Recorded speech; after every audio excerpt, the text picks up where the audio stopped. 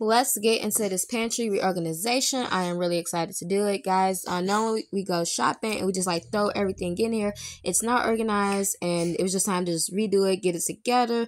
And so I ran to Dollar Tree, got these candy dishes. They also had like these different gray buckets. I didn't want everything the same. I kind of want to switch it up, have a little something different, and just mix it up. Um, I grabbed these little stickers. You can put the chalk, write the chalk stuff on there, and I actually ran out of stickers, so some of the stuff I just had to write on there. You can see, the taco shells.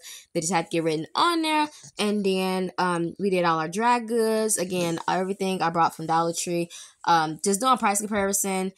Yeah, I don't know. I just like the, the different designs Dollar Tree had. They got popcorn, chips, cereal, um, goldfish, dry goods. We got our canned goods up there. We got some more empty containers. So just everything.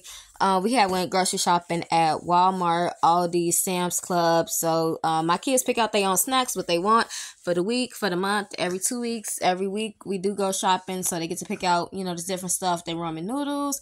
We got some mashed potatoes up there. Like I said, the dry goods over here. So I really love how the pantry came out versus how it looked at the beginning. It's just like a mess and crazy.